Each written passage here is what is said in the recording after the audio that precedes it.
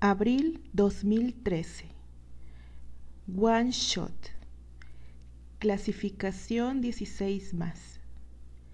Goza de mi lectura como yo gozo escribiendo. Brindemos por ella.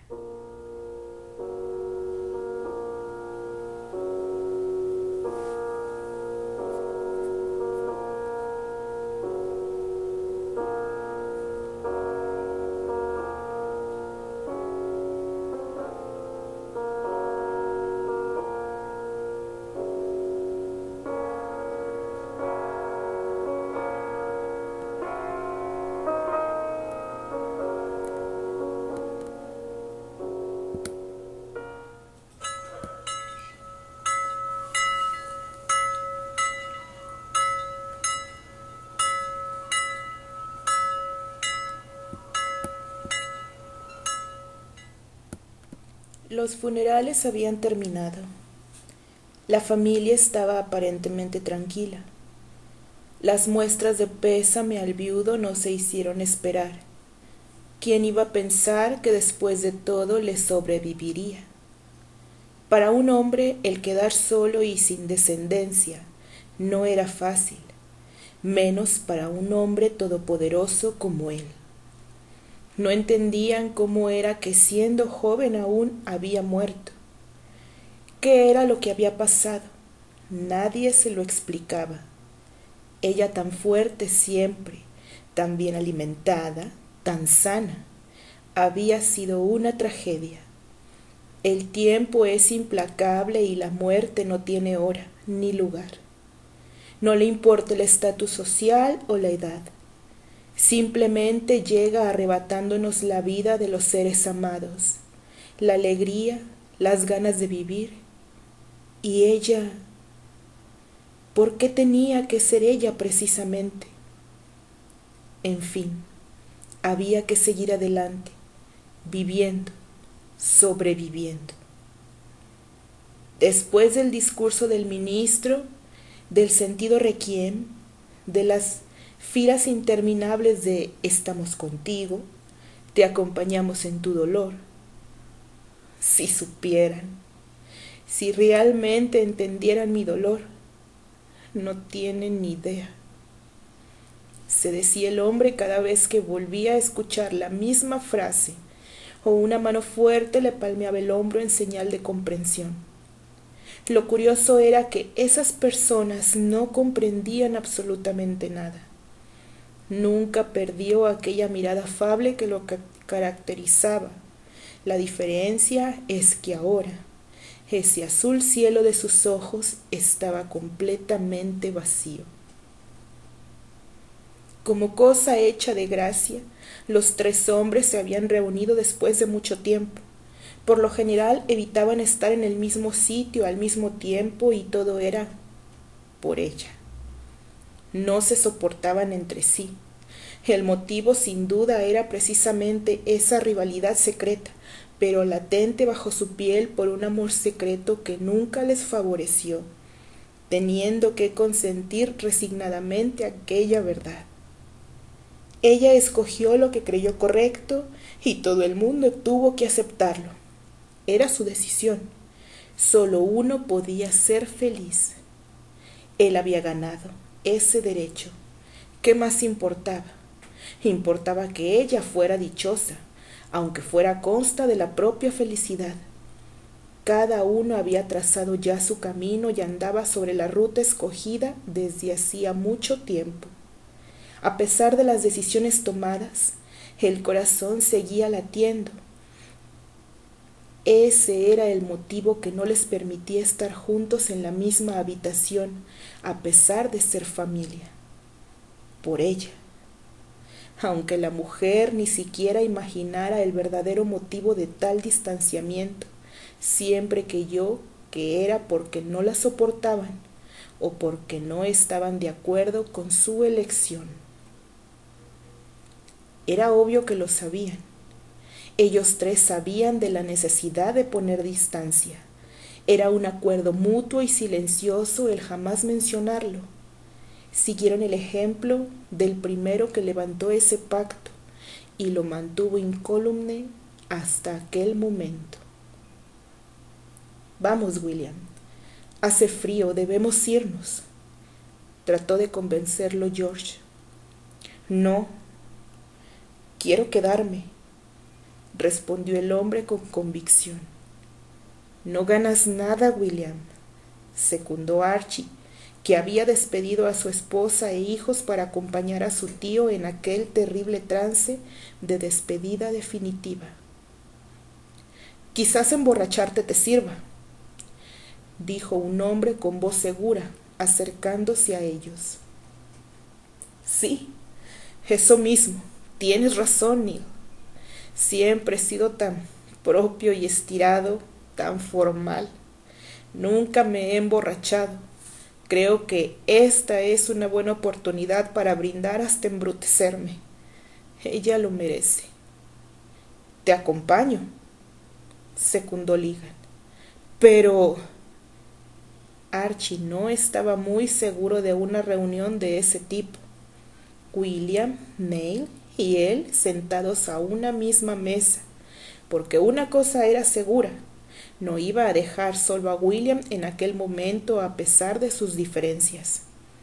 Quizás Archibald, así como Neil, buscaban un poco de consuelo a su pesar con alguien que también sentía lo mismo que ellos, aunque fuera calladamente.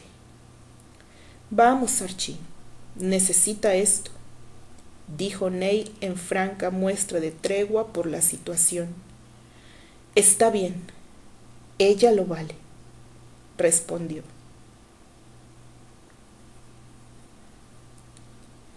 Ahí estaban los cuatro hombres. La mesa estaba repleta de botellas vacías. Seguían brindando en nombre de ella. Cincuenta y tres años encima y soy viudo. Por una gran mujer. William levantó la copa en alto y dio un trago duro. Salud. respondieron tres voces más. Los hombres levantaron nuevamente sus copas mientras sonreían. Terry apenas tocaba con los labios el vaso. Prefería fumar sin parar. Neil, Archibald y William habían dejado a un lado sus sacos y estaban completamente ebrios. A la salud de Candy.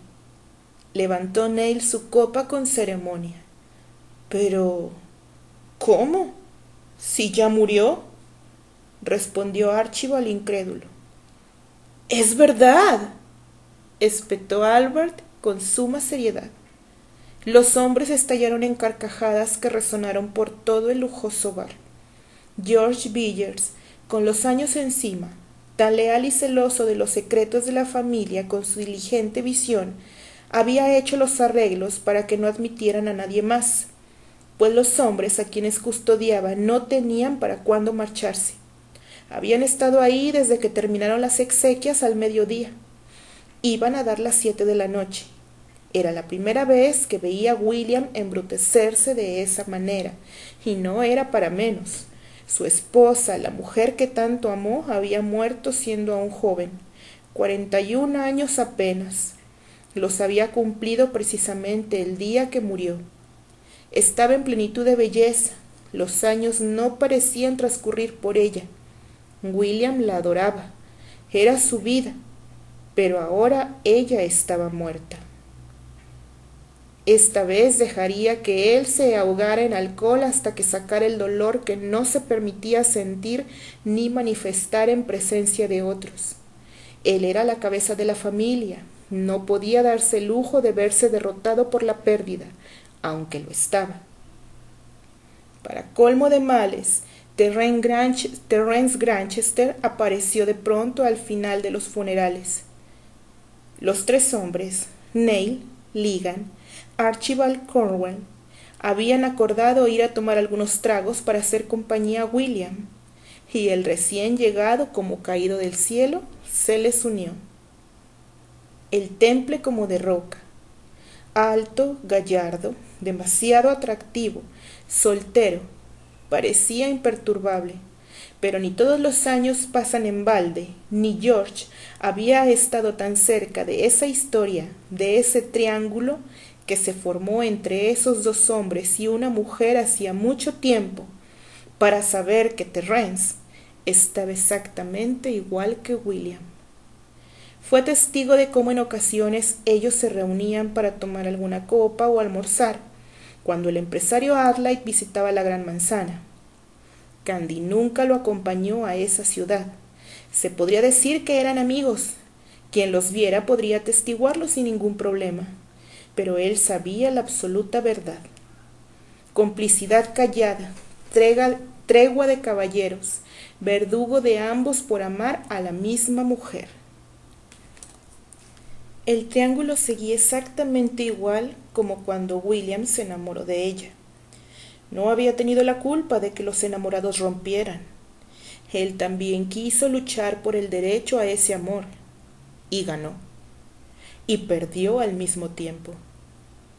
Ahí estaba el escandaloso cuarteto, embrutecidos hasta la conciencia. Reían, brindaban, se carcajeaban de simplezas a causa de las cantidades industriales de alcohol y no paraban de hablar. El único que se mantenía prácticamente en silencio, escuchando, era Terrence. Fumaba casi compulsivamente y una que otra vez soltaba algún comentario y brindaba. Siempre brindaba con solemnidad. Él no estaba borracho. Él se mantenía sobrio bebiendo apenas pequeños sorbos. Y ese estado era aún peor que dejarse llevar por los perfumados y sensuales brazos de Baco y su dulce néctar que te libera de inhibiciones. Prefirió seguir preso, como había estado desde que Candy y él rompieran hacía mucho tiempo atrás. Ya sé, dijo Neil. Hablemos de Candy y de las cosas locas que le gustaba hacer. Sí, hablemos sobre todo de cómo le, gustaba patearte el trasero, remató Archie dándole un codazo. Sí, no lo niego. Era una chica fuerte, aceptó el moreno arrastrando las palabras. Los hombres volvieron a reír. Recuerdo que, comentó Terry sin levantar la vista, ella acostumbraba a cruzar con una soga por el bosque para ir a su habitación por las noches. Le encantaba meterse en líos. Eso es verdad. Neil estaba incrédulo. Vaya con la señora Adlight. El hombre soltó una generosa carcajada. Y tú la llamaste la chica Tarzán, dijo Albert divertido, recordando aquel evento en el Blue River. Terry solo movió la cabeza afirmativamente. Eran unos pillos ambos. Candy siempre me hacía reír con sus ocurrencias. Oh, sí. Mi hermano y yo siempre. Un momento. Steer y Candy deben estar platicando ahora. Seguramente mi, atolondrado hermano querrá que ella pruebe alguno de sus inútiles inventos, se mofó Archie. ¿Y cómo está eso de que viajó sin ni un centavo de regreso a América? comentó Neil. ¿Es verdad? Elisa siempre creyó que ella... Sí, es verdad. Viajó de polizón en un barco, recordó Albert. Era una pequeña chica loca y muy arriesgada. Venía siguiéndote a ti. Albert señaló a Terry con la cuba de whisky en la mano. ¿A mí? Terry al fin levantó la vista. ¿Sí? ¿Quién más estaba en América en ese momento si no eras tú? Si hubiera querido estar conmigo, hubiera ido a África. Después de todo tenía mi dirección. Yo me encontraba en aquel continente haciendo lo que más me gustaba hacer, dijo Albert con nostalgia. Terry, ¿en verdad fuiste novio de Candy? porque sí se veía emocionada, pero nunca dijo que tú y ella, comentó Archie interesado, volcando la conversación en otra dirección. El tío estaba poniéndose algo necio, ya lo veía venir. Era la misma actitud que el mismo Archibald tomaba siempre cuando se trataba de Candy, estando Terry presente. Terry se quedó mirando al que fuera su compañero de colegio. Albert respondió antes de que él dijera una palabra. Claro que sí. Mi pequeña estaba muy enamorada de este caballero. El rubio le dio una sonora palmada en el hombro derecho a Terrance. Si vieras, sobrino, cómo hablaba de él todo el día. Hablaba de sus amores, de un tal príncipe de la colina del que se enamoró a los seis años. Hablaba de Anthony, pero su tema favorito era hablar de Terry. Terry para acá, Terry para allá, Terry acullá, Terry, Terry y más Terry. Vivía para esperar sus cartas. Le gustaba leerlas en el parquecito cerca de la magnolia. Bueno, sí. Ella se ponía hasta roja de las orejas cuando hablaba de ti, dijo Archibald apurando su copa. ¿Qué cosa vio en ti? Eras un hígado. Lo sigue siendo, ¿eh? No te quisieron de bebé, ¿verdad?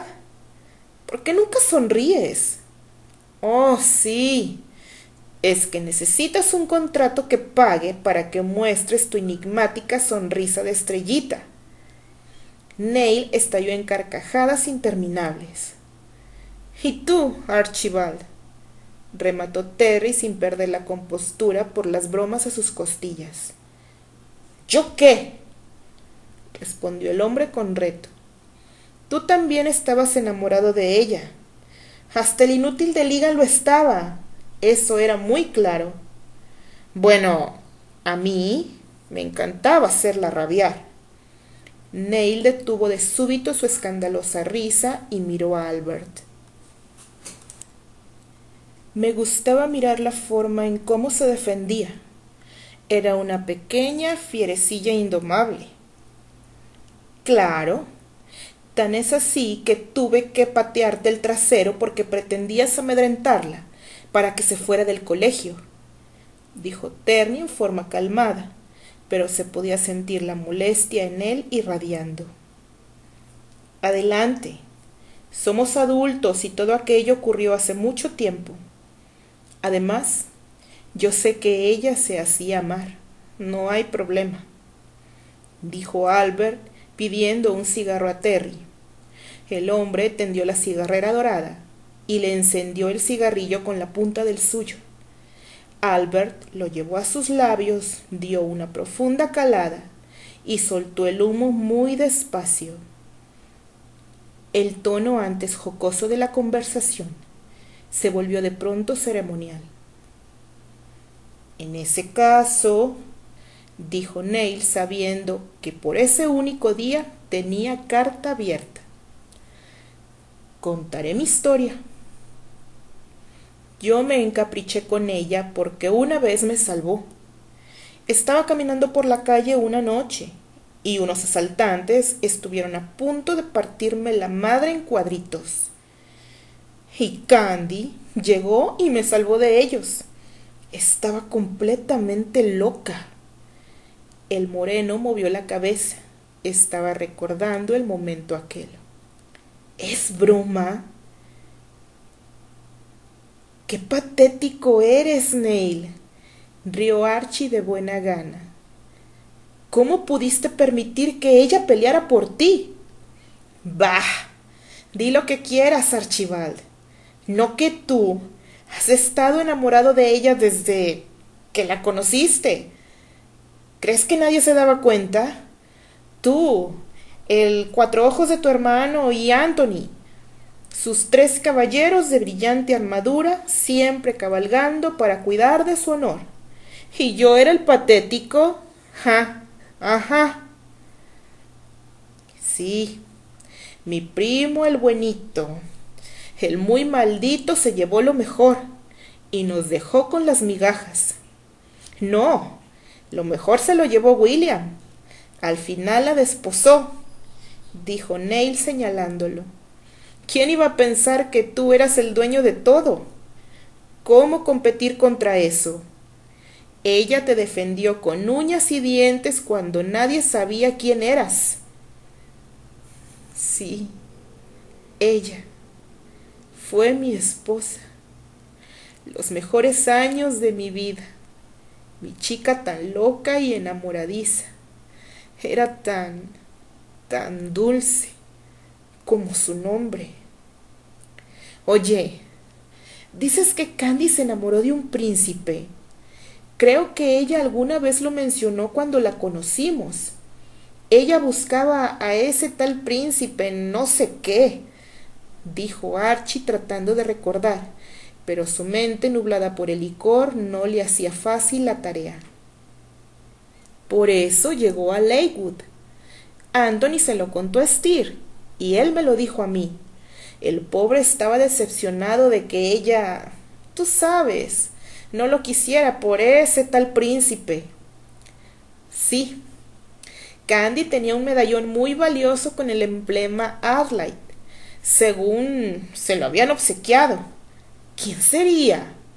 replicó Neil intrigado con aquella historia. Una vez tratamos de quitárselo entre Elisa y yo. Candy como gata salvaje no lo arrebató. Fue la primera vez que me arrepentí de hacerla rabiar. Lloró con tanto sentimiento y nos miró con aquellos ojos llenos de furia y súplica. Tú y tu hermana eran unos desgraciados con ella. La hicieron ver su suerte muchas veces, comentó Terry. Elisa en una ocasión trató de advertirme acerca de Candy. La llamó ladrona. Dijo que engañando a la gente, haciéndose pasar por buena, fue como logró que la adoptaran, lo cual le pudría las entrañas. Sí, ella se hacía querer. Tiene razón Elisa. Albert le dio un trago a su whisky. Ese príncipe que ella tanto buscaba en aquella época era yo, dijo Albert con una amplia sonrisa haciendo que todos se giraran a mirarlo. La conocí cuando tenía seis años. Era una linda chiquilla, llorosa y despeinada siempre fue una llorona. Luego con el tiempo, cuando vivimos juntos y tuve amnesia, me confesó que se había enamorado de mí. Yo tenía 17 años cuando nos vimos por primera vez. Fui su primera ilusión de niña. ¿Eras tú? Vaya, ¿quién lo iba a decir? Candy no estaba loca de remate como creíamos Elisa y yo dijo Neil sirviendo más licor en su vaso. Tu hermana es una arpía. Debe estar feliz de que Candy haya muerto, dijo Archie empujando su copa. Nah.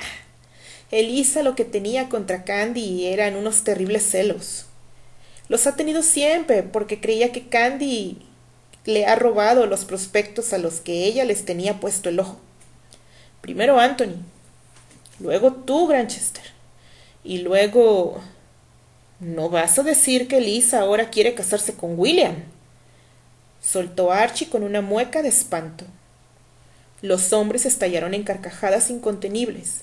Aún el enigmático George Villiers no pudo evitar sonreír ante aquella descabellada idea. Quiere quedarse con la herencia seguramente. Es una verdadera viuda negra. No te ofendas, tío, pero Cuidado. No vaya a darte un empujón por las escaleras. Archie rió a carcajadas. Con el cuento de que ya eres mayor. ¿Se imaginan? Seguramente no dudaría mucho en las garras afiladas, pero bien cuidadas de Lisa. Siguió William el juego riendo también. Primero tendría que deshacerse del imbécil malnacido de su marido haría un favor a la humanidad si lo desaparece, dijo Neil riendo. Después iría por ti, William. No te sorprenda que en poco tiempo esté viuda. Y un viudo con otra viuda Se consuelan mutuamente. Los hombres volvieron a reír. Todo era causa de risa en aquel momento. Albert, tú y Candy no tuvieron familia, comentó Ter. Siempre pensé que se llenarían de hijos. A Candy le gustaban los niños. La tuvimos. Íbamos a tenerla, pero murió al nacer. En ese momento todos callaron y George se puso más atento al rumbo que tomaba la conversación. No lo sabía, William, dijo Archie asombrado. Lo siento mucho. Nunca se lo dijimos a nadie. Guardamos el secreto porque fue algo muy doloroso para Candy. Luego ella ya no quiso saber nada de familia, ni de visitar doctores. Simplemente ya no hubo bebés y aunque ambos lo anhelábamos, Candy sufría por no lograrlo. Al final dejamos de tratar. Decía que era mejor así. ¿Quieres decir que tú y ella ya no tenían dijo Neil curioso ante aquel secreto tan bien guardado de los esposos Arlight. Oye, no te pases de la raya, sermoneó Archie al moreno. Yo quería seguir intentándolo. Quería que fuéramos una familia. Quería verla de nuevo embarazada, cargando a nuestros hijos, pero nunca pudo ser. Albert siguió con el relato. Los demás guardaron silencio. El hombre al fin estaba comenzando a desahogarse. Sé que en el fondo su dolor era mucho, al igual que el mío. Sin embargo, seguimos adelante con nuestra realidad. Sabiendo y estando consciente que ella despertaba las pasiones de ustedes y de quién sabe cuántos más, les dijo señalándolos con el vaso de whisky en la mano sabiendo que no podíamos estar juntos en el pasado como lo estamos ahora porque Albert ya no paró de hablar. William, le habló George con serenidad para tratar de llamarlo al orden y disuadirlo. Albert iba a sacarse la espina de una vez por todas y George no tenía idea de cómo terminaría aquello. Déjame, le contestó firmemente con voz afectada por el alcohol. Es más, siempre supe que ella nunca olvidó a Terry. Aún así me aceptó, y no me importó saberlo, yo la amaba. Cuando la, cortejé por tanto tiempo y le pedí matrimonio, ella aceptó. Eso era lo único que me importaba. Durante la luna de miel nos vimos bendecidos con el embarazo inmediatamente. Verla tan feliz después de mucho tiempo fue vivir en la gloria. Pero nos duró poco. Luego ella no quiso saber nada y se fue apagando. Intenté hacerla feliz, lo intenté. Le hice el amor con todo mi corazón, con todo mi ser la hice sentir mujer muchas veces, si esa era tu pregunta, Neil. Candy era toda una mujer, amante, apasionada, dulce, siempre se entregaba. Dijo el rubio sonriendo con los ojos humedecidos por las lágrimas que no se permitía derramar. Pero el dolor en sus palabras era más que palpable. Los años le cayeron encima de golpe. Lo hiciste, William, dijo Archie con seriedad. El rumbo que había tomado la conversación se había vuelto más un confesionario. Ella fue feliz todo este tiempo. Candy siempre fue buena actriz. Tú lo sabes, Archie, dijo Albert con naturalidad y nostalgia. Nunca permitía que nadie supiera lo que había realmente en su corazón. En algún tiempo tuve acceso y el privilegio de que ella me lo compartiera todo. Pero cuando perdimos a nuestro hijo, ella se cerró completamente a mí. Y por más que intenté abrirla de nuevo, no pude. La perdí definitivamente. La tenía perdida desde un principio. Joder, yo lo sabía, pero me negué a aceptarlo, a rendirme sin luchar. Si nuestro hijo hubiera sobrevivido, nosotros quizás hubiésemos tenido alguna oportunidad. Ella hubiera sido una excelente madre, como fue una excelente esposa, cumpliendo cabalmente con sus deberes. Pero mujer, mi mujer, lo fue por muy poco tiempo. Es algo que un esposo sabe. ¿No es así, Archibald? Tantas veces estuve así de decírtelo. Albert se inclinó sobre la mesa mirando fijamente a Terry. El hombre se había quedado mudo. De decirte. Albert resolló con brusquedad. Lo que iba a decir le estaba costando demasiado. Que la cortejaras, que la enamoraras de nuevo, que te acercaras a ella y le dieras lo que necesitaba. Yo no podía dárselo.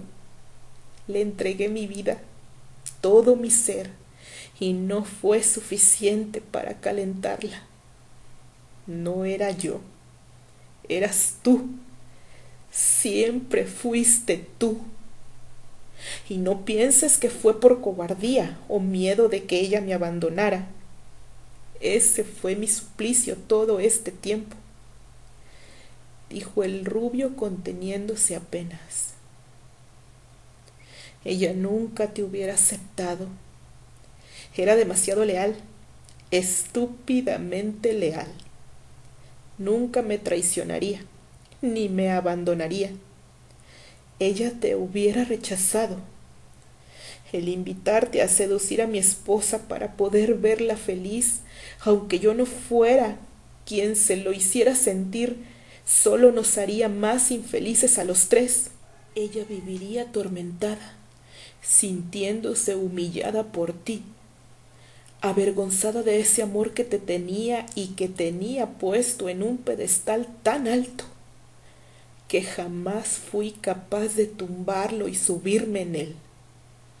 Tú estarías perdido, frustrado, sintiéndote tan miserable como yo por ser incapaz de hacerla feliz y yo, yo moriría lentamente al verla tan desdichada, más de lo que ya era. ¿Por qué me dices todo esto ahora? dijo Terry bullendo de rabia, conteniéndose también. Porque es la verdad, porque así son las cosas. Por si pensaste que, respondió William, yo no pensé nada. Yo nunca. No digas nada. Albert levantó la mano para callarlo. Sé que me aprecias porque sabes que yo estaba cuidando de ella. En verdad hice todo lo que pude, pero también sé que morías por dentro de celos, de rabia e impotencia. Te tragaste el orgullo herido y te fajaste las bolas como todo un hombre. Por eso te respeto y te quiero. Eres un verdadero caballero, un hombre cabal, mi amigo. Eres un solterón. Nunca se te ha conocido relación seria. Estás igual que ella. Estaban guardándose. Ese amor se les pudrió dentro. Pero debes entender que no fue mi culpa. No creo que tenga caso alguno esta conversación. Terry apuró el vaso tragando duro. Se levantó de golpe. Estaba temblando. Espera. Tengo algo para ti, Terrence. Sé que después de hoy ya no nos volveremos a ver. Hace dos días perdí a mi esposa y hoy te pierdo a ti. George, el paquete, por favor. El hombre de cabello completamente cano se acercó y le entregó a William un paquete envuelto. El rubio lo puso sobre la mesa, lo desenvolvió y se lo acercó a Terry. Archie y Neil ahora estaban serios. No se atrevían a decir nada. Este es el diario de Candy. Toma, es tuyo, dijo William. No lo quiero. Terrence lo rechazó inmediatamente. Deberías. Ella lo escribió para mí originalmente, sin saber que era yo su benefactor. Tiene las memorias de su tiempo de colegio en Londres. En su mayoría habla sobre ti. Ella me contó el más mínimo detalle de cómo fuiste tú quien le dio su primer beso y cómo se abofetearon, de cómo caíste rendido ante la gran mujer que era ella, de cómo cambiaste y la amaste de la forma en que ella se merecía. La respetaste, la valoraste, la adoraste como solo un verdadero hombre sabe hacerlo. Ella te convirtió en lo que eres. Y no es que ella lo diga. Lo sé por los pasajes junto a ti que cuenta. El dueño legítimo de este diario eres tú. Tómalo o lo mandaré incinerar. Terry se quedó serio. En un arrebato tomó el diario sobre la mesa y se fue sin despedirse. Albert estaba completamente ebrio, pero sabía muy bien lo que había hecho. No iba a cargar con aquel tormentoso secreto lo que le restara de vida y, sinceramente, esperaba que no fuera mucho. Pidió a George que lo llevara de nuevo al cementerio. Villers trató de hacerle ver que no era buen momento. Era demasiado tarde, casi el filo de la medianoche, y no estaba en buen estado. Pero no pudo convencerlo lo llevó como era su deseo. Archie y Neil ya se habían marchado. Lo que comenzó como una reunión en honor al recuerdo de Candy terminó siendo una pasarela post-mortem de recuerdos dolorosos, de secretos oscuros y liberación de almas. Desde el corredor oscuro y neblinoso, al detener el auto pudo ver aún las cantidades enormes de rosas que cubrían el sepulcro en lo alto de la pequeña colina. Allí fue donde le mandaría construir una pérgola y le sembraría un hermoso jardín con la cepa de la dulce candy solo para ella. Ese era su plan. Pero al esparcirse un poco la neblina con el viento frío, vislumbraron a un hombre echado sobre las rosas llorando sonoramente, como un lobo herido aullándole a la luna la pérdida de su amor. Es Terry, dijo el rubio con la vista borrosa por la borrachera. Sí, William, es él, le confirmó George al fin pudo permitirse sentir, al igual que yo. Oh, Candy, por ser como eres es que te amamos tanto, aunque nos desgarres la vida. ¿Quieres bajar?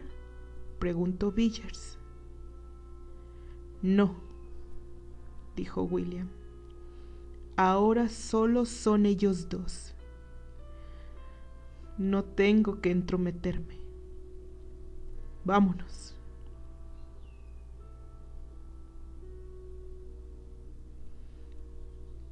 A los pocos días de aquel extraño encuentro, se conoció la noticia de que el actor Terence Granchester había muerto. Se decía que había sido un accidente automovilístico el que le había arrebatado la vida. Pero Albert sabía que él, ante la oportunidad, simplemente se dejó ir. Al fin te animaste a seguirla, Terry. Ella también te siguió cuando la dejaste. nunca hizo eso por mí. Eras tú. Siempre fuiste tú. Ahora están juntos, como siempre debió ser. Candy, mi amada. Salud, amor mío.